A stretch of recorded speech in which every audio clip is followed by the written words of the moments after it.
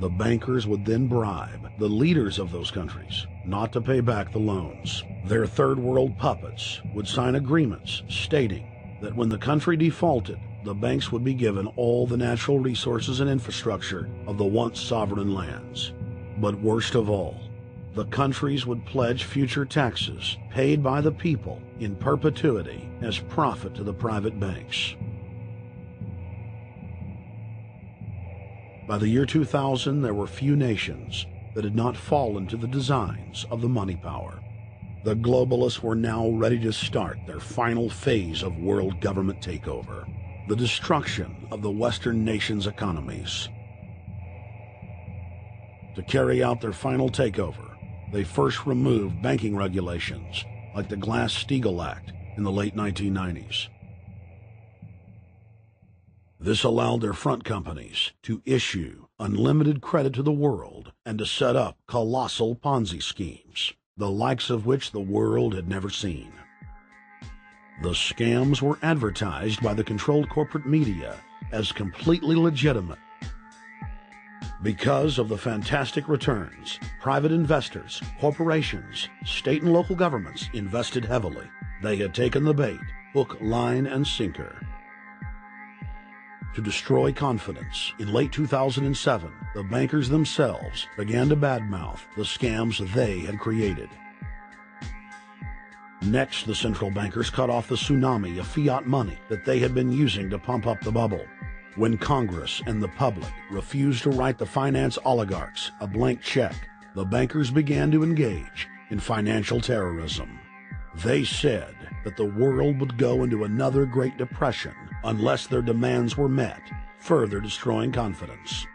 The stock market instantly had its biggest one-day loss in history, but even that wasn't enough to force Congress to capitulate to the offshore banks. Senator Inhofe of Oklahoma and Congressman Brad Sherman of California, amongst others, told the world that the entire Congress had been threatened with martial law by the White House and the Treasury Department if they didn't pass the so-called banker bailout bill. The only way they can pass this bill is by creating and sustaining a panic atmosphere. That atmosphere is not justified. Many of us were told in private conversations that if we voted against this bill on Monday, that the sky would fall, the market would drop two or three thousand points the first day, another couple thousand the second day, and a few members were even told that there would be martial law in America if we voted no. That's what I call fear mongering. Unjustified. The final version of the bill was kept secret from the Congress until minutes before the vote on October 3, 2008. The Federal Reserve had promised total transparency, that every dime would be accounted for. To Democrats and Republicans who've opposed this plan, I say, step up to the plate. Let's do what's right for the country at this time because the time to act is now. To prevent the possibility of a crisis turning into a catastrophe. After its passage, the public learned with horror that the bill was really a financial coup d'etat by Wall Street. The bill didn't just give $700 billion to the banks. It was a blank check and as of February 2009, 9.7 trillion has disappeared into a black hole. Within 24 hours of its passage, Secretary of Treasury Henry Paulson said they were no longer going to use the money to unfreeze the mortgage market by buying bad debt. We went to Congress. Illiquid assets look like the way to go. As the situation worsened, the facts change. I will never apologize for, for changing an approach or strategy when the facts change. Paulson has, in the meantime, admitted that the subprime mortgage crisis is not the cause, really, of the breakdown of the entire world banking system and the bankruptcy of most of the banks in London and in, uh, in Wall Street. He said, oh, we're going to buy up toxic assets, but we're not going to worry about subprime mortgages. What he's talking about is derivatives. Derivatives are the center of the crisis. He went on to say that where the money was going was a secret. I believe that banking institutions are more dangerous to our liberties than standing armies.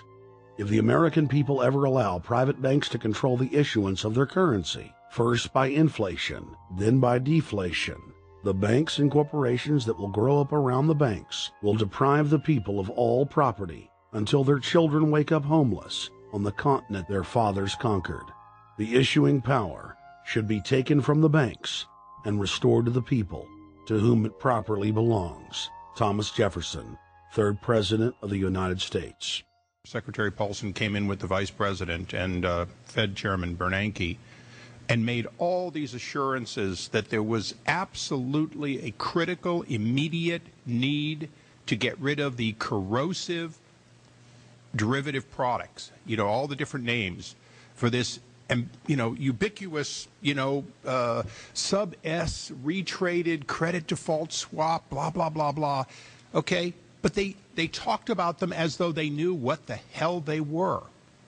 You got the money and you immediately said what items what auction now the treasury just just basically cut that out of the bill and what you know what we have here is a situation where uh, banks are, are hoarding the money that they're getting from the TARP. They're using the money to purchase other banks. And all of a sudden, the Treasury sent a signal to the banks forget about it. We're going to give you the money that you want, and you do what you want with it. Unless you direct it specifically, it's not going to happen. I don't think anyone questions, Mr. Kashkari, that you're working hard. Our question is who you're working for. Throughout its passage, President Bush and Senator Obama worked in tandem to get Congress to pass the bill without even having time to read it, despite the fact that in major polls, 98% of the American people were against the bill. The leadership in both parties were for it.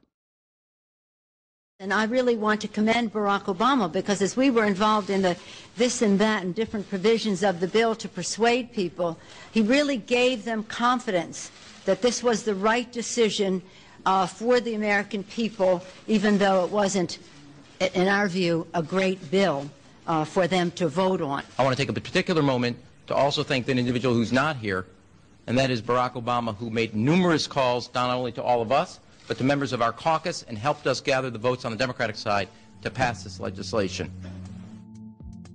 Bankheads then bragged to the press that they were hoarding the bailout money and using it to buy up smaller, healthy banks and insurance companies. Their plan was working like a charm. Next, the central bankers loaned the federal government back $787 billion of our own money at interest for President Obama's so called stimulus package. And just like the banker bailout, Congress was given less than an hour to read the 1,070 page plus stimulus bill.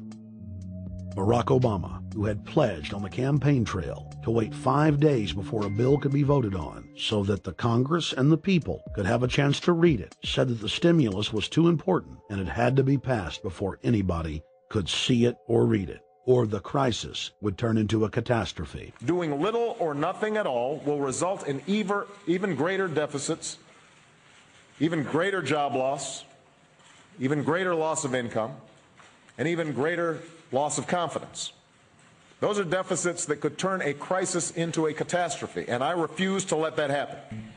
After its Friday passage, in gangster fashion, President Barack Obama took a four day vacation and said that there was no rush to sign it.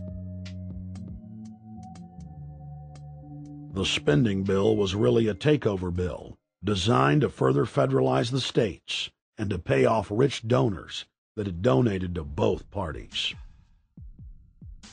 As the world slid deeper into depression, the bankers celebrated the fire sale that they had created. I believe this, the phrase burdens of the office is overstated. Yeah, it's kind of like, why me? Oh, the burdens, you know. Why did the financial collapse have to happen on my watch? It's just pathetic, isn't it? Self pity. And I, and I don't believe uh, President elect Obama will be full of self pity with their access to unlimited fiat capital, they could now buy up sectors of the world economy not already controlled by them.